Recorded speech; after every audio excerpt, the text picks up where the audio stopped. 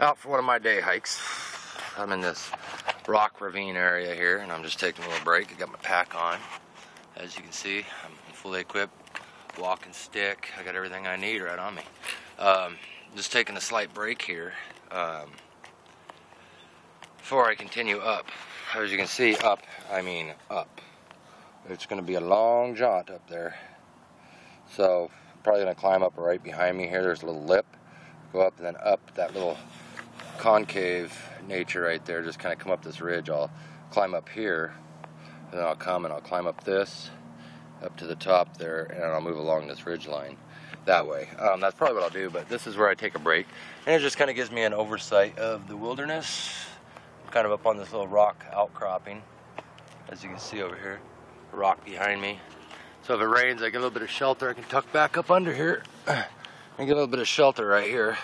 As you can see, I got this overhang. So I get right in here and uh, have no problems at all. So that's just a few things I wanted to show you.